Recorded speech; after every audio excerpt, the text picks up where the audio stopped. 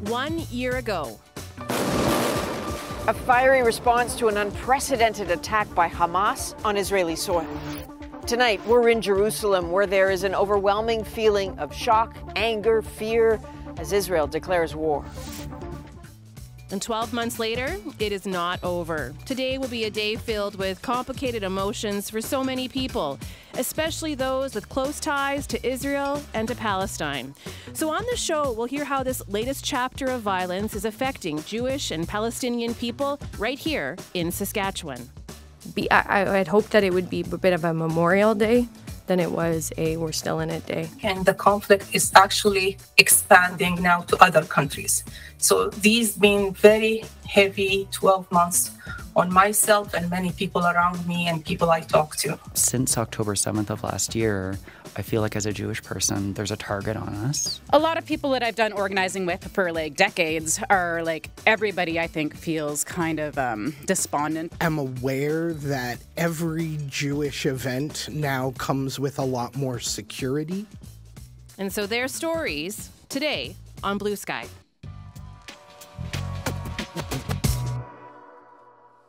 We recorded these conversations over the last couple of weeks, and we know that they represent only a small fraction of the perspectives that are out there. Our hope, though, is that today's show provides a window into the lives of five people in Saskatchewan deeply affected by the war. Lauren Sharfstein is a lawyer in Saskatoon. I've interviewed her a couple of times over the years about anti Semitism and online hate speech. Lauren is Jewish. One year later, her emotions are still raw as she reflects on what happened. Israeli authorities say on October 7th, 1,200 people were killed and 250 were taken hostage. That is the biggest death toll of Jews since the Holocaust. Um, that doesn't sit well with many people, especially Jewish people. Um, it's a scary time. It is. I can even feel the emotion in my voice. Um,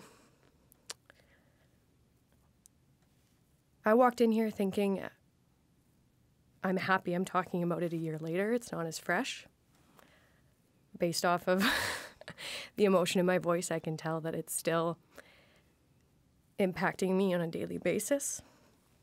Um, it is, it's a scary time to be an Israeli. It's a scary time to be a supporter of Israel. It's a scary time to be a Jew um, in Saskatchewan, in Canada. Um, and there's always those underpinnings, probably for Israelis and Jews at all times. But since October 7th, that has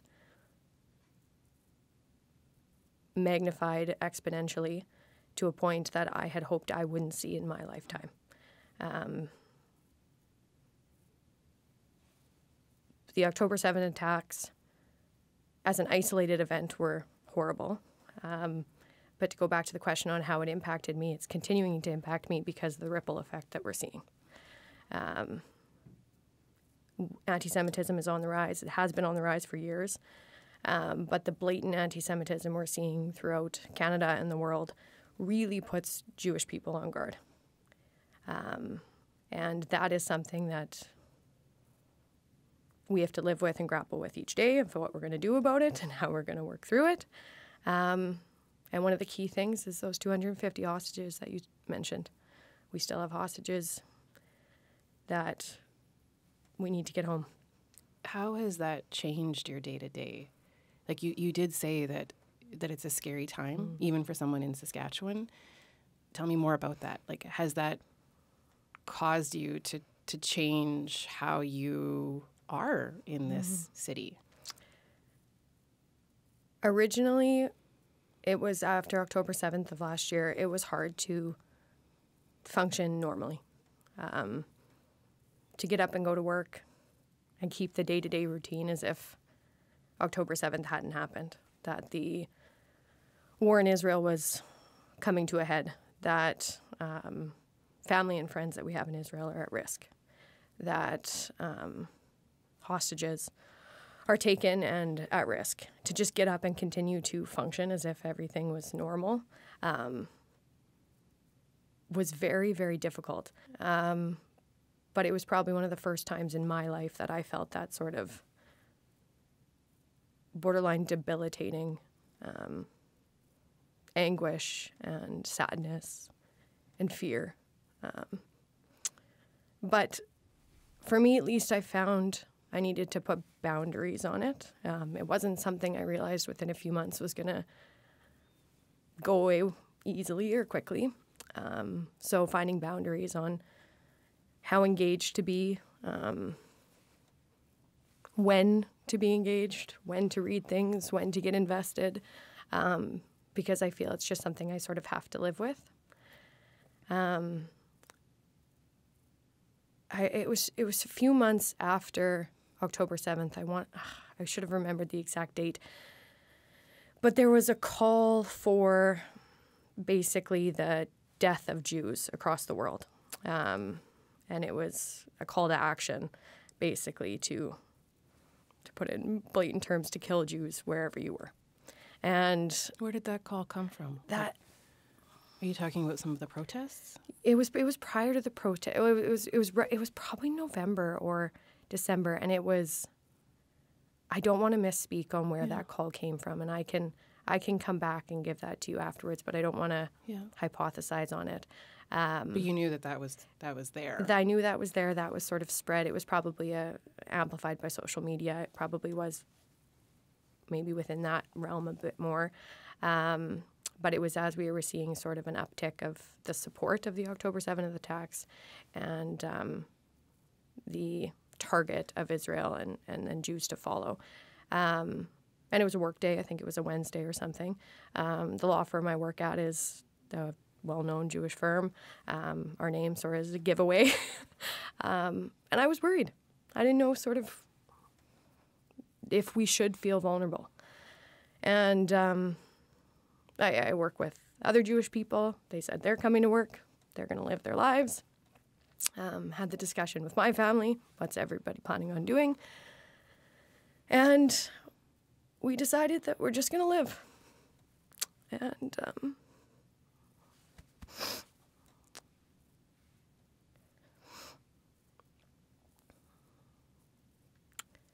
if something was to happen to us because we're Jewish, we will die a proud Jew. And um, that decision, as a family, as a group, um, is has changed my mentality post October 7th.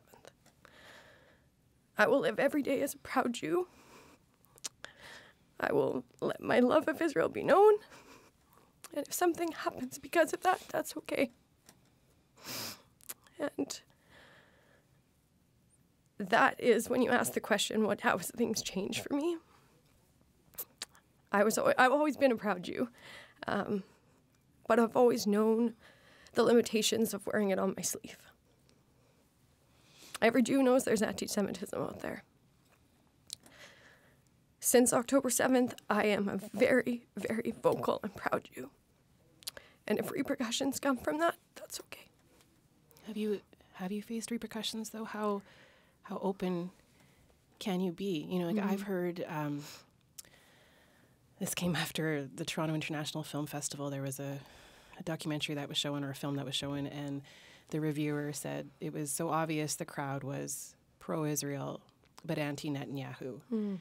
And so I, I, I am wondering like how open you can mm-hmm. be about your stance, mm-hmm.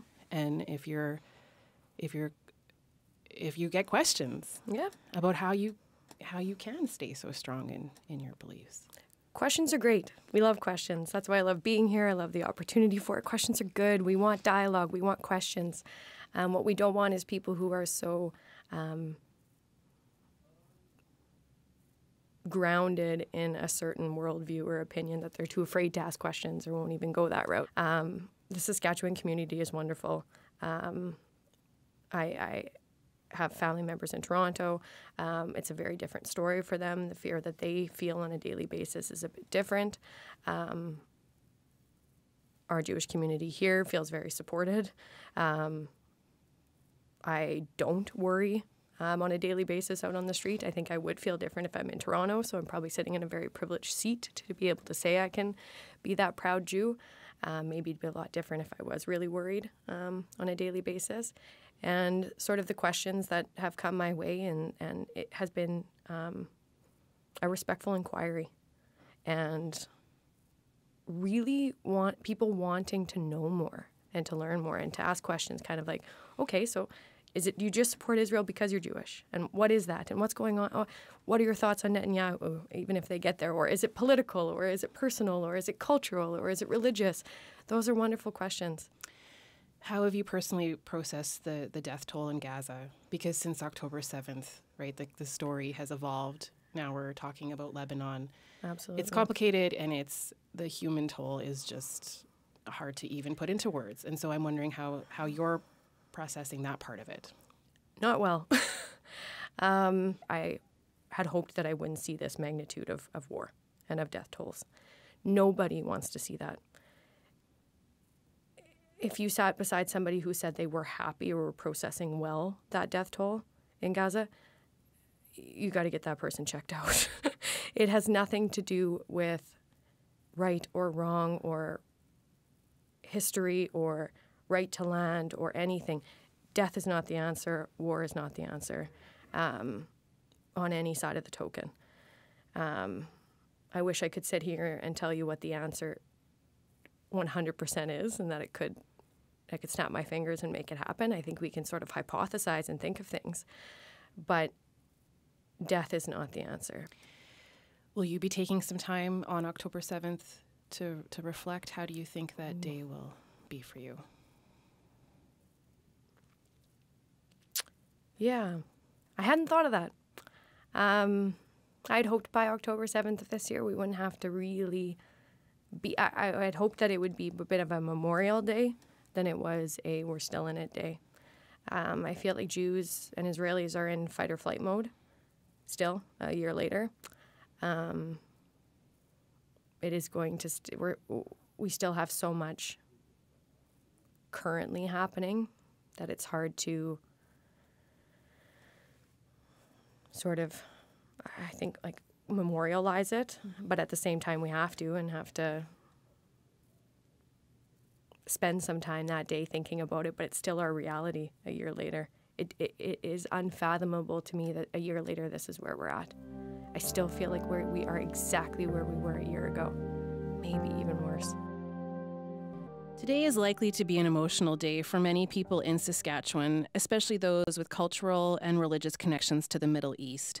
Iman Almadawi is a Palestinian Canadian professor who lives and works in Regina. I'm feeling so tired.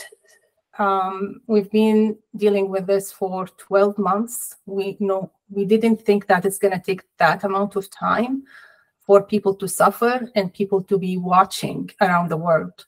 So it's been now 12 months where the genocide in Gaza has started. More than 42,000 people have been killed. Over 100,000 people are injured.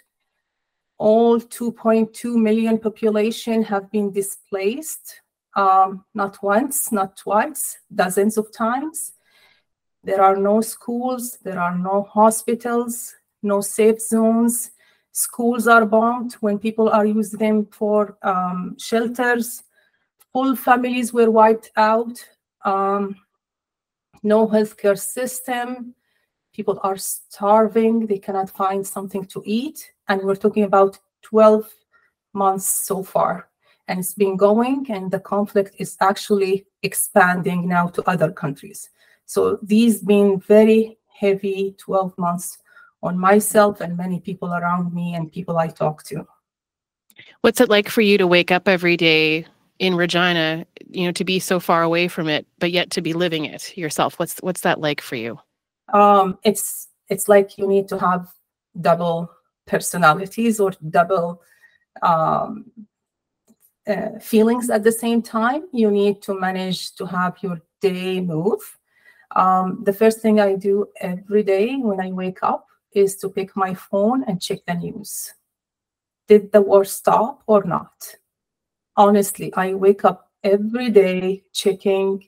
I'm hoping that there is a stop and there is no stop.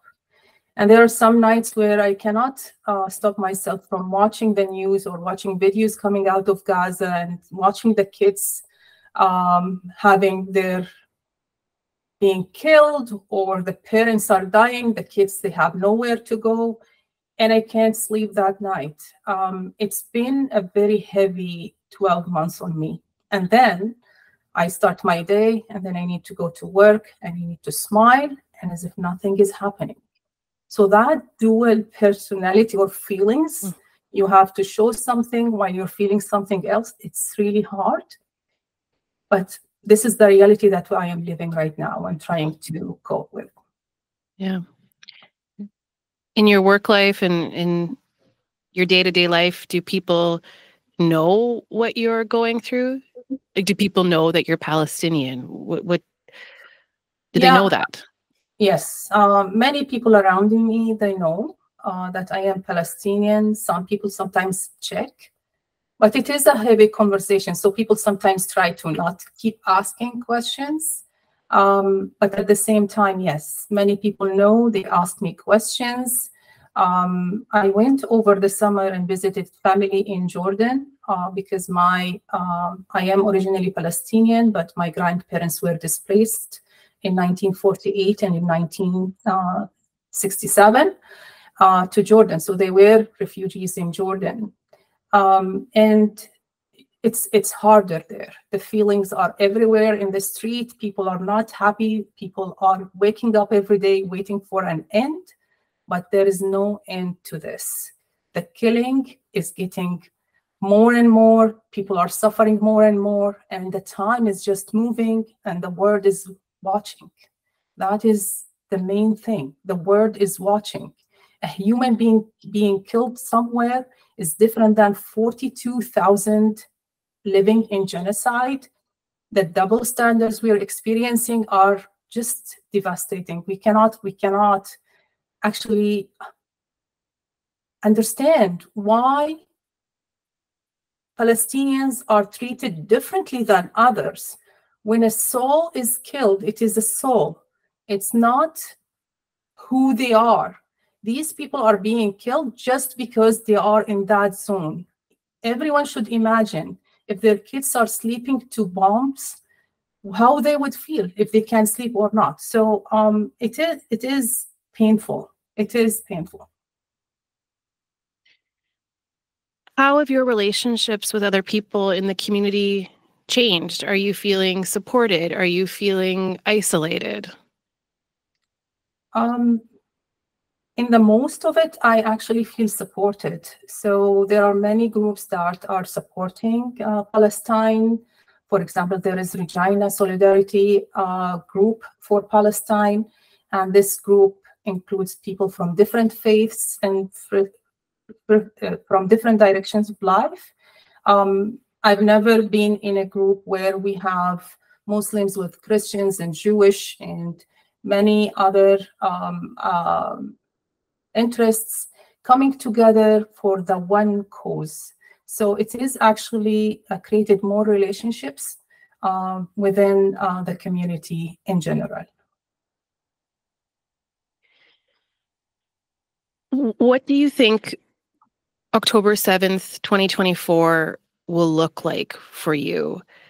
I, have heard from other folks who say, you know, it will be a day of remembering people who have died. I've heard others say they feel so much anger. And so I'm just curious how you picture October 7th specifically for you. So when we look at October 7th, we need to remember that it's that's not where the story started.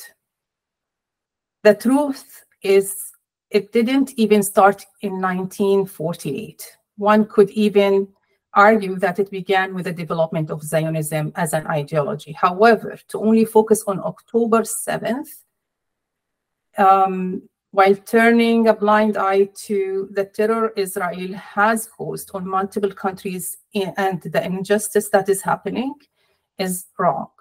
So I think um, it is a day for me to remember that the world is blind and is supporting a genocide. And I feel much more angry day after day, seeing this is continuing to evolve, seeing more countries are included now in the conflict.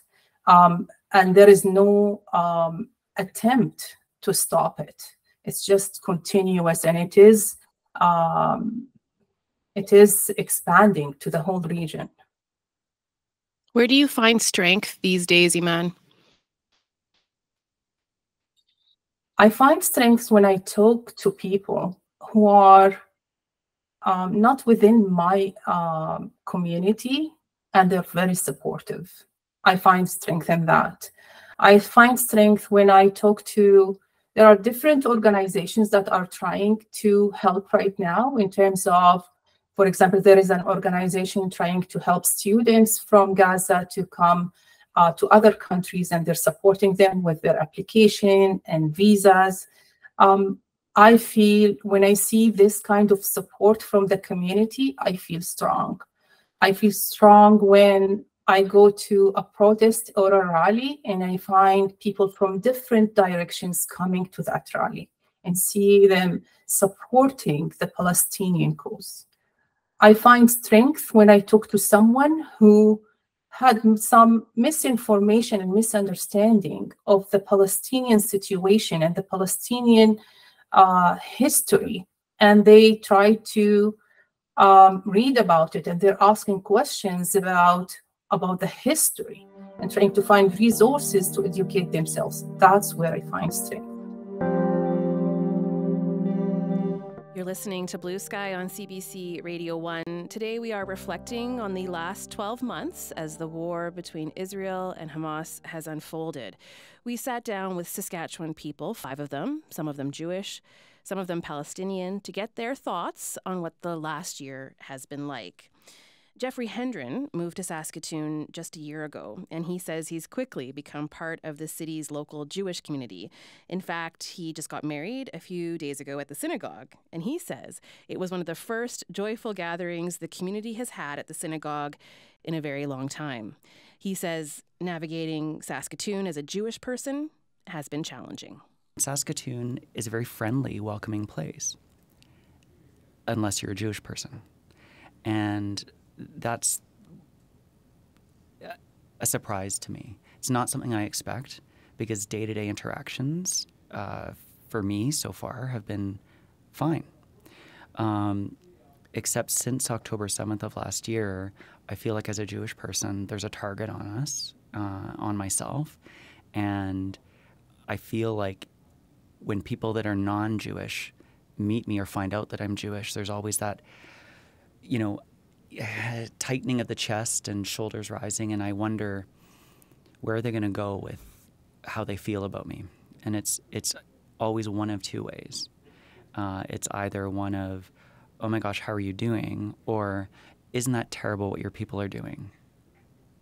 How do you respond to to that?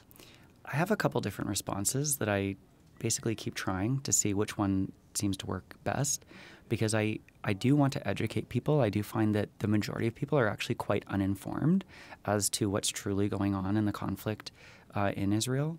And I think a lot of people are surprised to find out that they're actually anti Semitic or that they hold anti Semitic views and perhaps didn't realize it. So I try to take an educational approach and just say, you know, death is absolutely terrible. You're right. Uh, and then I sort of see where they want to go from there. Um, but if it's one of like it's you know the accusatory, can you believe, you know, what the Jews are doing over there in Israel? And it's like, well, I sort of take the, you mean fearing for their lives, wondering when the next attack is coming, running for shelter every time rockets are fired from southern Lebanon or from Gaza, uh, basically sitting in a country of only a few million people while the rest of the world seems to judge us for being victims. There is one Jewish state in the world, and every Jewish person has a connection to, to Israel. Whether we're from there or not, whether we've traveled there or not, uh, every Jewish person is automatically an Israeli national. And uh, because we all have birthright and right of return. So when people say, you know, I'm not against you, I'm just against Israel. Well, that's actually an anti Semitic statement because what you're saying is you are against my one homeland. You can be against the political situation in Israel. You can be uh, very uh, angry or negative towards uh, Benjamin Netanyahu, which I am. I am not a fan of Netanyahu's. Uh, just like you can disagree with any political uh, or government in any country around the world.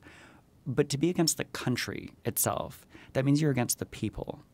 And that is what's anti Semitic. A lot of the tropes that are being put up so easily on social media or displayed so easily on a poster board along the highway or overpasses, even here in Saskatoon, they they are either blatantly anti-Semitic or they have anti-Semitic roots to them.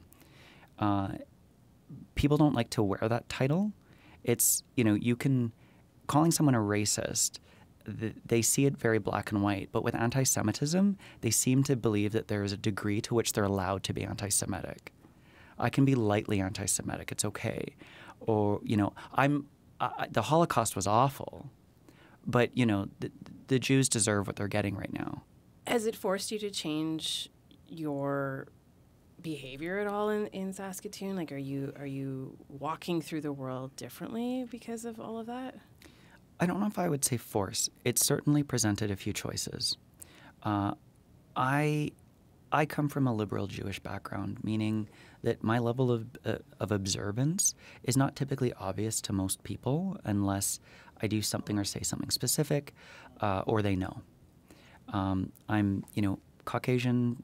I I'm I, I fit in with the general population, um, but I used to wear my kippah every day.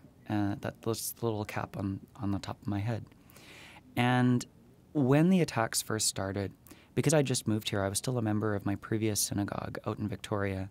And we'd received an email from the congregation there saying, to the community for your safety, be considerate of your security while you're out in public. Take your safety as a priority over your display of any Judaica of any obvious Jewish marks, such as men wearing a kippah, women covering their hair, or Judaica jewelry. Um, and that's that's another thing that sort of made me angry. Of I'm not even safe to wear a kippah in Canada. So throughout this last year, I, I've worn my kippah out in public a lot less. I, I've practically stopped because it's just my safety is most important, number one. Um, and then number two, it's not worth getting into arguments with people that aren't interested in actually learning the truth about a topic. Um, but what I've decided to do in the last few months is take more assertive ownership of my Jewishness.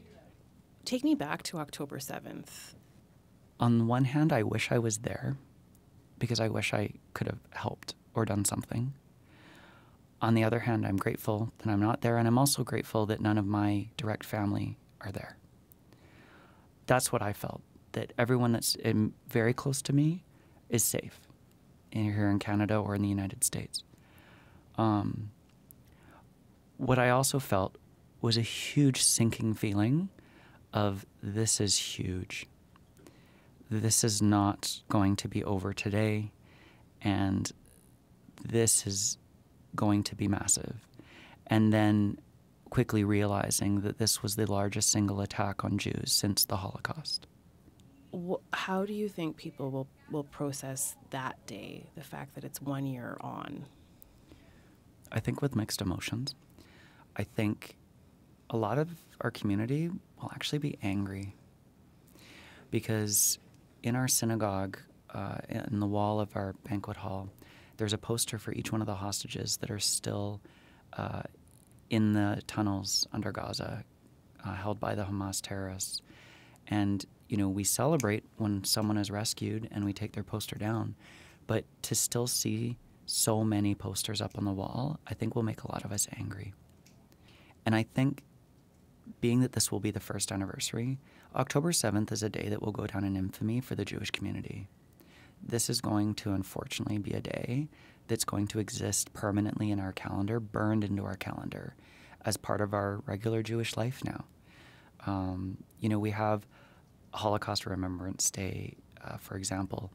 This is going to be like that day for us. And I hope that very soon, you know, in years uh, looking forward, that we can commemorate this day as never again.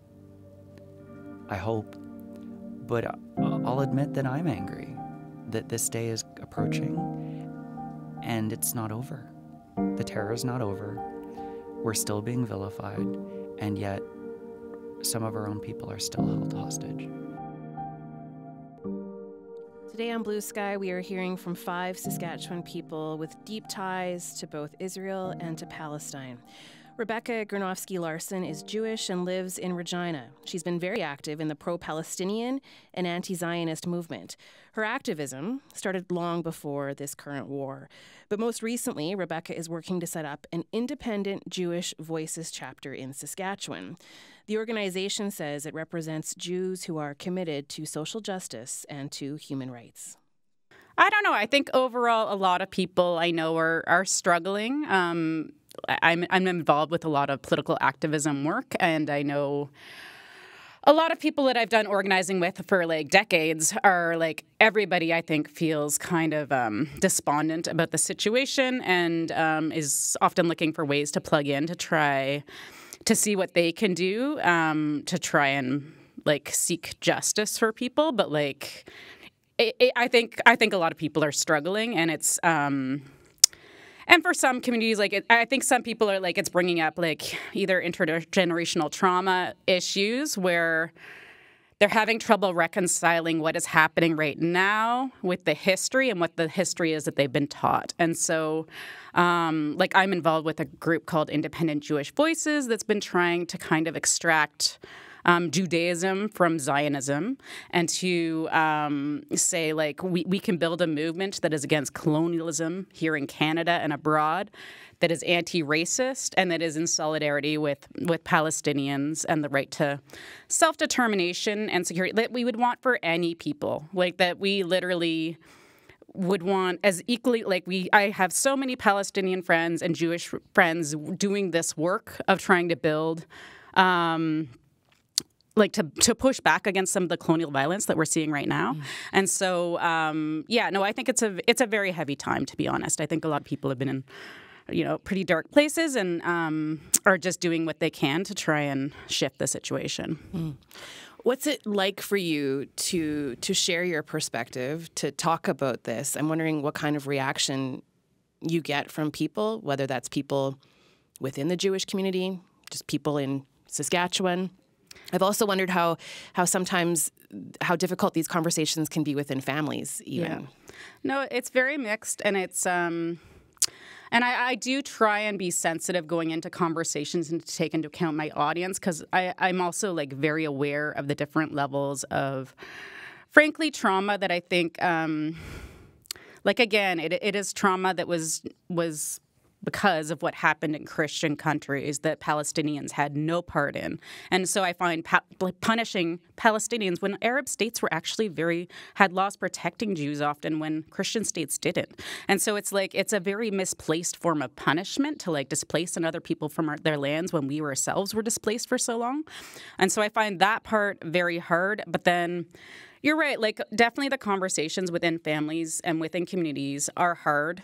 I think they need to be had, and I think sometimes it's hard for for people to hear from you know like Christians, uh, like frankly like white Christians on that matter because I think there is still a lot of like a sense of like oh anti-Semitism is like eternal and that that's what's motivating your critiques of Israel. But in reality, like, if you believe in universal concepts of justice and of human rights and of self determination, you have to defend it in every country.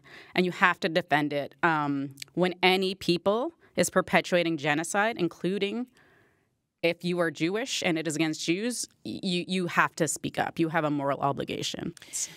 I hear just I hear so much conviction in your voice, and I but I also hear a lot of uh, emotion. Like I, I can I can feel that as as as you're you're you're talking, and we are coming up to October seventh, and I know that many people say this started long before that, but I am wondering what you're thinking about as that date approaches.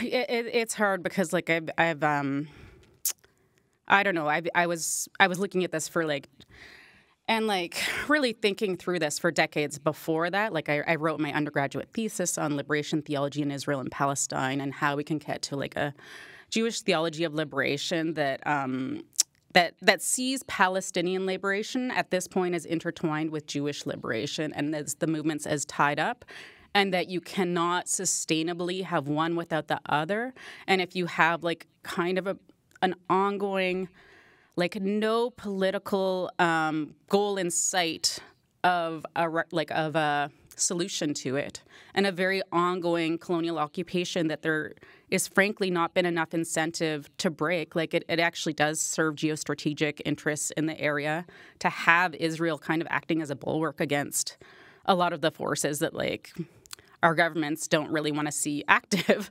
And so um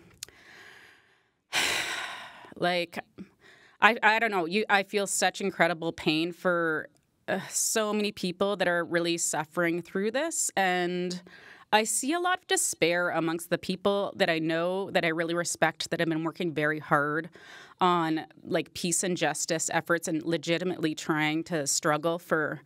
Um, for everybody to, to be able to live like a decent life in the territories but I see more despondency now than I've ever seen before as you see farther far right governments that are digging into the militarism and the racism and it's actually just getting worse and worse and it's getting harder for people to be able to live in Israel who dissent from this. Um, and so I think we do need to do more to build up global solidarity and movements that are like pushing for justice and to use our like actual real relationships with like a lot of people have family in Israel, and like I think we need to figure out how to push for global solidarity. One form that's obviously take is boycott, divestment, sanctions, but honestly, I don't think it's fast enough in the current context of how rapidly the genocide's unfolding, and how many just it's just I don't think we're uh, willing to see like like frankly babies and schools and hospitals and all these things bombed and just the most brutal like seeing people's homes bombed over and over the entire the obliteration of Gaza the level of pain and suffering and then seeing like my Palestinian friends and how, hopeless or like how how impossible a moment this is to live through and feeling a very deep sense of both responsibility but empathy because I also know our own families and how that feeling of feeling like um, the state and the media really vilified people as they were facing a genocide. That I think is something that's been really hard to see my friends go through, and I feel like we have a real obligation to like like humanize the situation and not let them vilify people and persecute people and go after their jobs here and go after the like very courageous students that are speaking up and sometimes against police violence. Um, yeah. So yeah. I keep I keep thinking as you're you're talking, um, you know, just to remind people, you're you're you're in Regina, I'm in Saskatoon. We're talking to people in Saskatchewan, and you're talking about some really difficult things um, that are happening far away for a lot of people, right? It feels far away, but yet we're having this intimate conversation right now. And I am wondering what you want to leave Saskatchewan people with and and you know I think about how you came into the studio you've got kids to pick up right like you're living your life day to day and yet I hear all of this emotion in you so I'm just wondering you know bringing it back to to here and what you want Saskatchewan people to be left with I just um, I don't think anybody can speak on behalf of the entire community, but I think sometimes a problem has been that it's been perceived as like monolithic, like Jewish organization, like Zionism and Judaism are somehow inter- like interlinked in a way that is inextractable. But like the history of it was not that way. There were always many critics of forming a nation, like an ethno-nationalist state that was reliant on, frankly, like policies of colonization and Palestinians not having a state. And uh, there were a lot of opposition. There was a lot of opposition historically to that.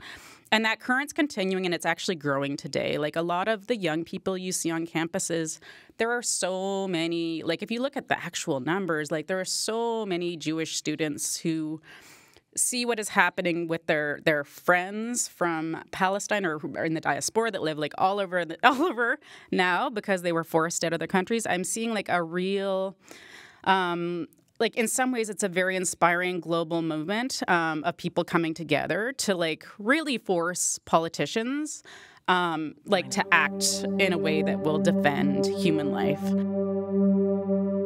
well, S. Bear Bergman is someone you've met on Blue Sky before. He spoke to us on Father's Day, and he has a new book out called Special Topics on Being a Parent. It captures some of his experiences as a trans dad. But Bear is also Jewish and lives in Regina. I definitely am aware that every Jewish event now comes with a lot more security in Regina. And I think that first, in some cases, like at synagogue, you know, there's very often a police car sitting outside of the temple when I drop my kids off for Sunday school. And that's, you know, an exciting conversation to get to have with your third grader, right? Why are the police at temple again? Oh, well, that's, we hope, for your protection. Um, but also when there have been Jewish events like at the university, there is a lot of additional security because um, people are concerned that there will be protests. And so there's an increased security presence and again, an increased police presence. Which to me feels complicated because then it's not only a question of how much are we preventing legal protests and free speech. But also, historically, that kind of security relies on the idea that some people are, you know, upon a brief visual inspection, right? Like, oh, you look like you are here for the lecture, whereas you look like you are here to disrupt it. And of course, that um, disproportionately burdens Jews of color, uh, queer and trans Jews, anyone that doesn't match what, you know, some security person or police officer thinks a Jew should look like, regardless of whether they know any actual Jews. That's been another uh, thing that has happened since I've lived in Regina that I had not really experienced before in my life. I regularly meet people for whom I am the first Jewish person that they are aware of ever having met.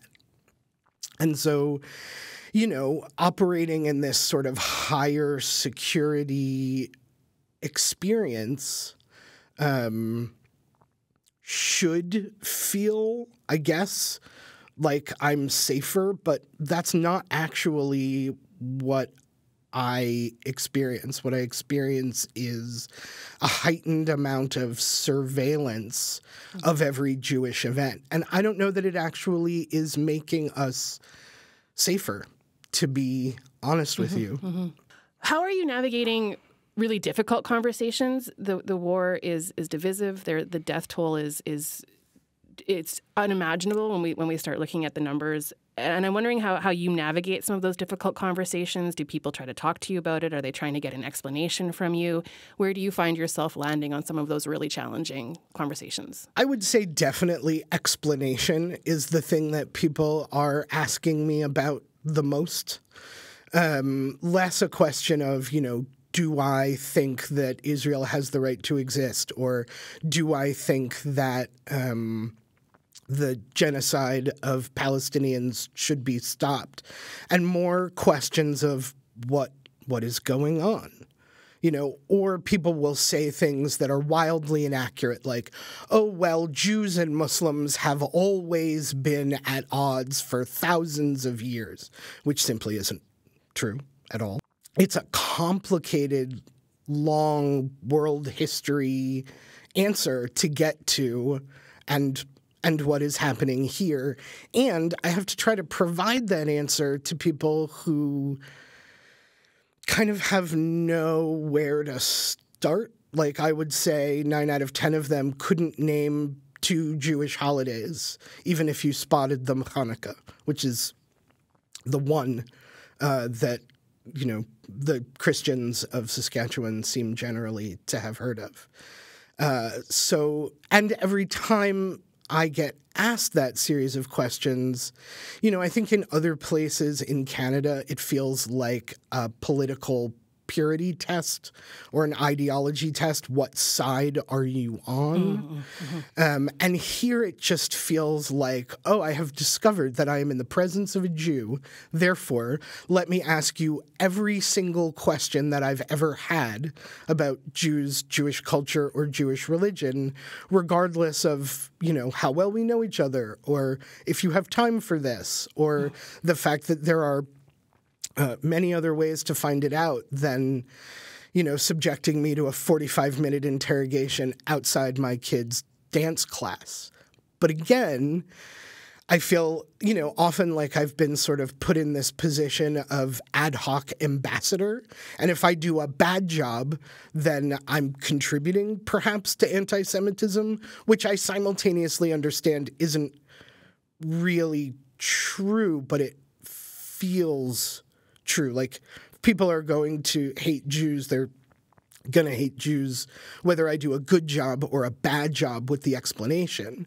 But I always feel very aware that if I am not, um, especially in Regina, that if I'm not uh, conversational and helpful and cheerful about it, then perhaps I'm the only Jewish person that they're aware of ever having spoken to. And I don't want to be, you know, I talked to one out of one Jews and he was rude. Therefore, Jews are rude and this is terrible. Mm-hmm. It's two things. One, I don't know where the conversation is going ever. You know, maybe we're just talking about what is Sukkot? Why what why are we eating outside? What holiday is this? What are we commemorating?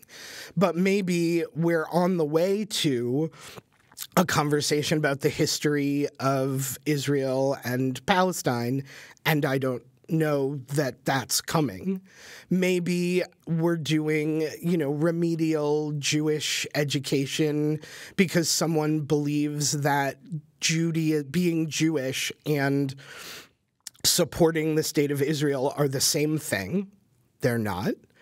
But I don't know any time. I never know what I'm walking into. And now it's doubled, or I guess perhaps exponentially, it's uh, squared, right? Because it's not a one plus one situation. Each piece really amplifies and complicates the other. And now I'm doing, you know, a graduate seminar while I'm standing outside the wherever I happen to be, the dog daycare, right? Talking about, you know, we're starting at at whatever Jewish holiday or whatever Jewish concept, and we're ending up at Canadian foreign policy related to the ongoing genocide in Palestine. And I thought we were just talking about when do we light the candles, but now we're actually talking about wholesale murder. But like, also, I have to get home and cook dinner. But also, I don't want to be rude. And also, I don't want to lose an opportunity for education. But also, sometimes it's so emotionally complicated that to lead someone else through it in a thoughtful and useful way, you know, it sort of leaves me in like a little heap of feelings by the time I'm done. And then, you know, whoever I'm speaking to, Margaret, is like, oh, thanks. That was really helpful. I super appreciate it. And they toddle off feeling like they've learned. And I have to just go home and lie down. You know, I've done 45 minutes on the ongoing trauma perpetrated by various governments on the Jewish people for the last 2,500 years. I need a cookie, right? And a and a and 20 minutes sitting quietly by myself. We'd like to thank everyone who shared their perspectives with us for today's show. These interviews happened over the last several weeks and represent only a small fraction of the perspectives that are out there. We recognize that the crisis in the Middle East is continuously changing And there are many other people with ties to other Middle Eastern countries who are highly affected by this growing conflict.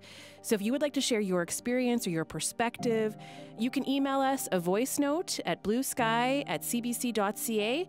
You could also call Talkback 1 800 661 7540. Your feedback can help shape future shows.